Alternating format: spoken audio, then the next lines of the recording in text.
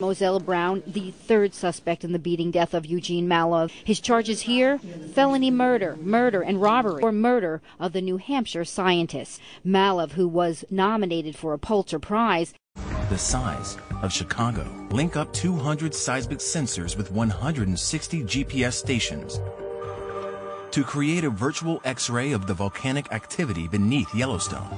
They get a clear image of the magma chamber that stretches 125 miles under the surface. But when they explore deeper than ever before, they discover a second chamber five times the size, reaching down to 410 miles below the Earth's crust. With a volume of 11,000 cubic miles, this newly discovered magma chamber is the largest in the world, with enough molten rock to fill the Grand Canyon 11 times. Yellowstone is going to blow again. The question is when.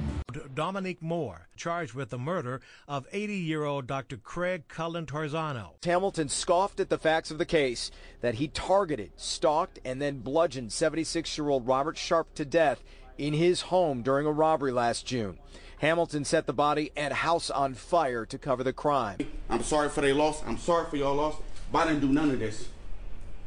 All I did, all I'm guilty of is of uh, possession of stolen property. Three people wanted for questioning in the shooting.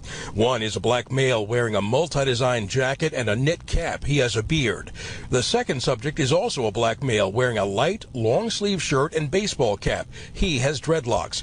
A third subject is a woman with short hair. We know that there are multiple witnesses that are still out there that may have information to help us solve this homicide. The victim, Carlo Tateo, was a PE teacher at Skyline High and was set to become assistant coach on the school's football team.